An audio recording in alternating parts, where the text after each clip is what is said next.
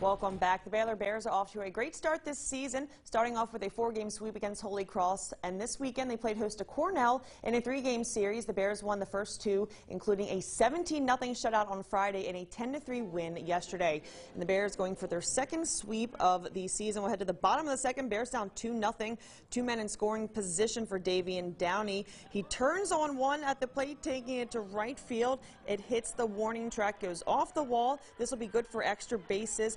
Both runs they touch home, and we have ourselves a tie ball game at two. Bottom of the second now, we have uh, one on for freshman Kyle Harper, and he takes this one for a ride deep to left field, and it's gone for a two-run homer for the first of his collegiate career. And the Bears take a two-run lead. Harper went two for two at the plate and had 10 putouts on defense.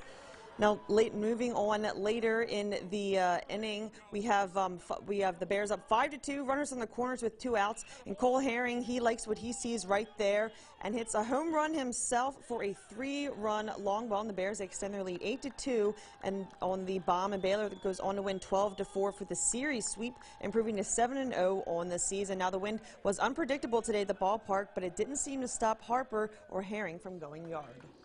It was blowing in early, and then it started blowing out to left and kind of a crosswind, and take advantage of every single one of those things. Our guys did a really good job getting a ball elevated, and you know, just hitting ball hard is our, our big thing.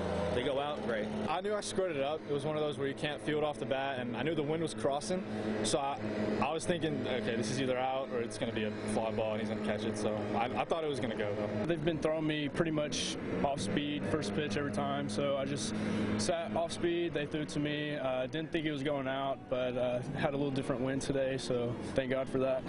The Bears' next game is at home is on Tuesday against Dallas Baptist.